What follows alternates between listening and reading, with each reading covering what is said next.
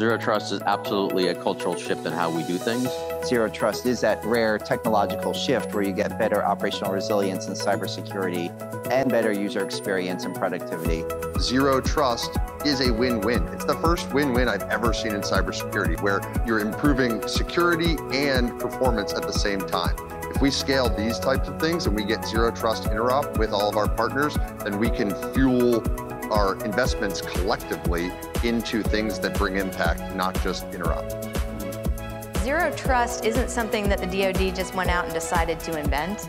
It was based on the MITRE ATT&CK research, and it is how we operate securely against an advanced persistent threat.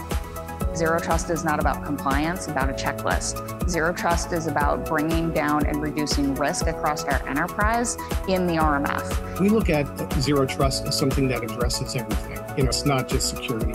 This is a people and process problem.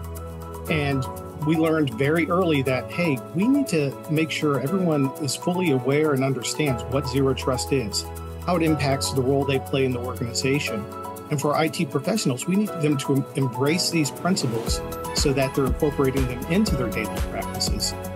Everyone says zero trust is a journey. That's absolutely true.